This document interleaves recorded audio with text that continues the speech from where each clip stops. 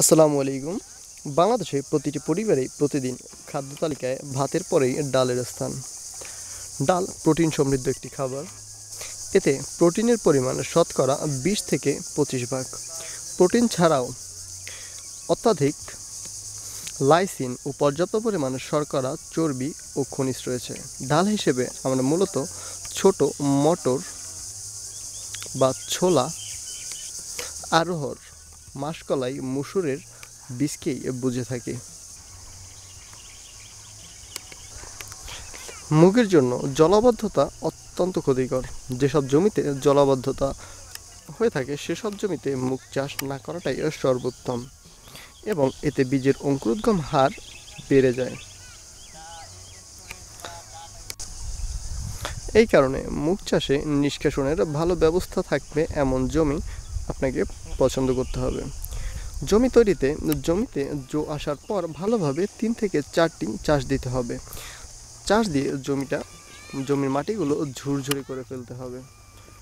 এতে বীজের অঙ্কুরোদ্গম হার বেড়ে যাবে। এছাড়া জমির সকল আগাছা পরিষ্কার করে দিতে হবে। পরিষ্কার পরিচ্ছন্ন জায়গায় মুগ চাষ করতে হবে।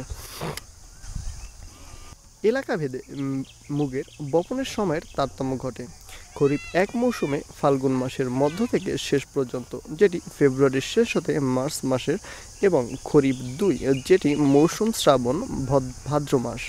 আগস্টের প্রথম হতে সেপ্টেম্বরের শেষে, শেষের ভাগ। বারে মৌসুম, বরিশাল অঞ্চল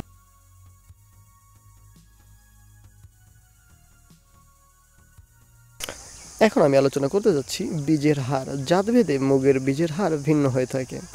বাড়িমুখ দুই, বাড়িমুখ তিন, বাড়িমুখ চার, এর জন্য হেক্টর প্রতি পঁচিশ থেকে তিরিশ কেজি।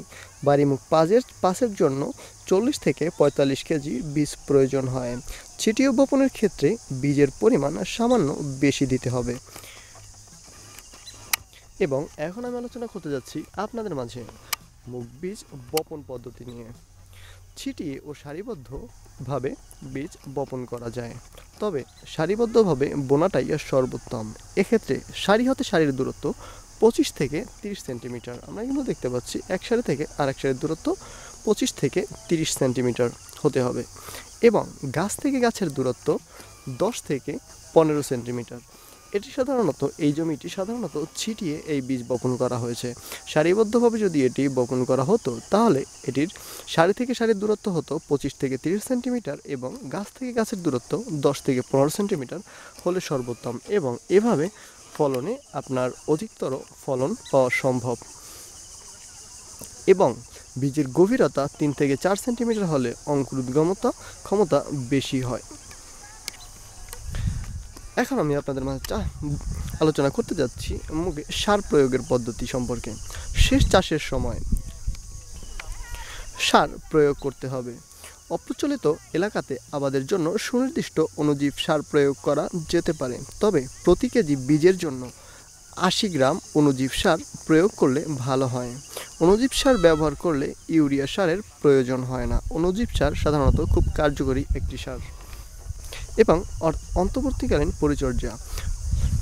মুগ ডাল ভালো ফলন পেতে হলে ক্ষেতের আগাছা নিয়মিত আপনাকে পরিষ্কার ও পরিচ্ছন্ন রাখতে হবে।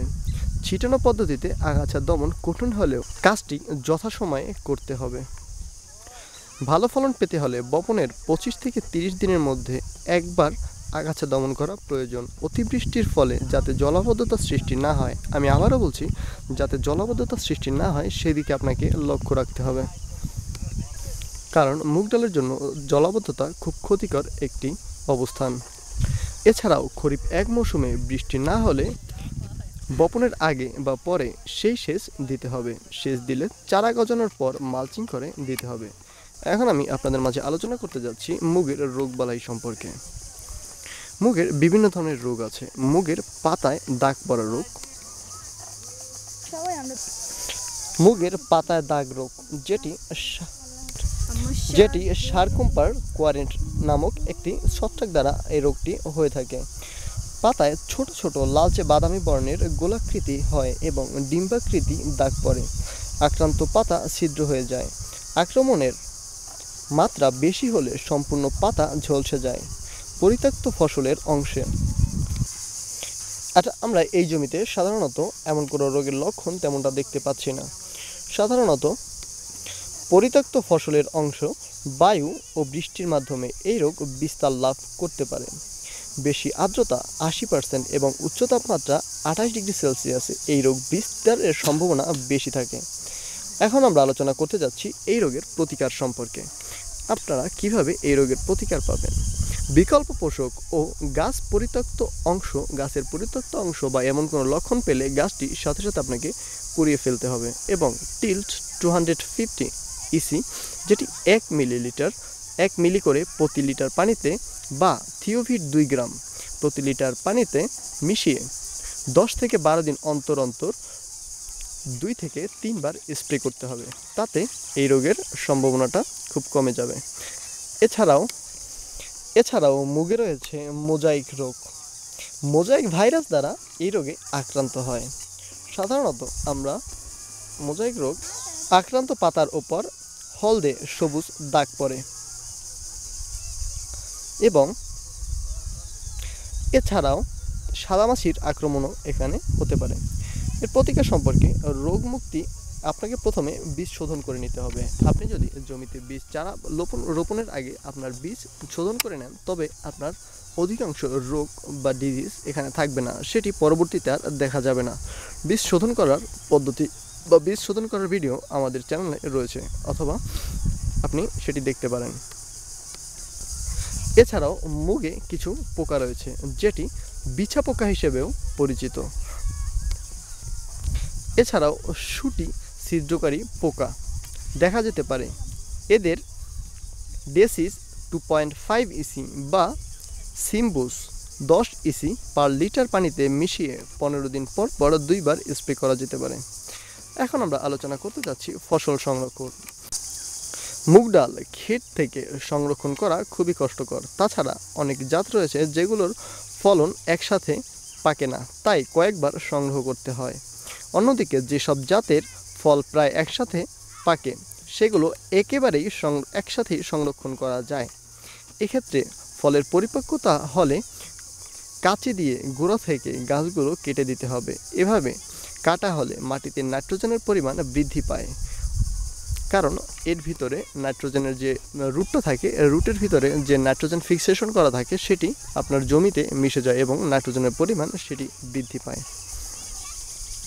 এবং গাছগুলো ভালোভাবে শুকিয়ে লাঠি দিয়ে পিটিয়ে গরু দিয়ে, মই দিয়েও মুগের ডাল সংরক্ষণ করা হয়। ফলন বপন বা রোপণের সময় জাতের বিভিন্ন কারণের ফলন ভিন্নতা হয়ে যেতে পারে। সঠিক পরিচর্যার মাধ্যমে ফলন হলে হেক্টর প্রতি এক থেকে দেড় টন পর্যন্ত ফলন পাওয়া যেতে পারে। Thank you so much for watching the video